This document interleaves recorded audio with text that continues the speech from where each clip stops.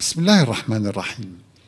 نشرت مجلة تطور الطفل الأمريكية دراسة علمية تؤكد أن العقاب البدني يجعل الأطفال أكثر عدوانية ويؤثر على نموهم الذهني وقدراتهم الإدراكية.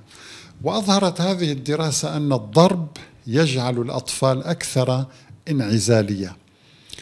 وإن أولئك الذين تعرضوا للعقاب البدني في عمر سنة واحدة أصبحوا أكثر شراسة وتراجعت قدراتهم الإدراكية يقول العلماء إن كثرة الرسائل السلبية للطفل تؤثر على ذكائه ولذلك آه، بدأ العلماء اليوم يهتمون بأسلوب جديد في التربية قائم على ماذا؟ على البرمجة الإيجابية وتشجيع الطفل دائما على التجربة وكيف يتصرف بشكل صحيح في مختلف المواقف. هذا هو ما طبقه نبينا الكريم عليه الصلاة والسلام قبل أكثر من أربعة عشر قرنا.